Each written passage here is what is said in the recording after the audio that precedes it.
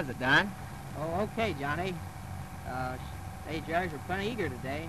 Yeah. Thank God I had you for a wingman. Oh, thanks. I got on the tail of one and went around, made a few orbits with him, and, and shot him down, and he went down smoking. Then there was another one getting on the tail of one of our boys, and he was just about to shoot him down when I, I clobbered him. He bailed out. And I went back up to about 24,000 and bounced another Jerry.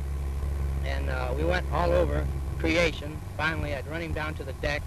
And just as we got down the treetop height, he blew up just right and splattered all over the ground. That's three for the day and makes a net score of 30. Damn good, boy. Uh, two more to go to beat the raft, eh? Well, hope. I hope so, too.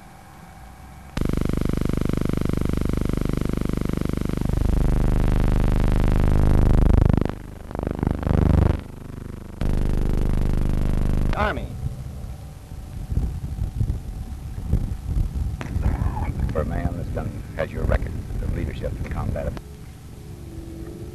I felt that I was listening to one of the real tales Gentlemen, it's a real honor to come out here and decorate two men who are themselves our real Air Force.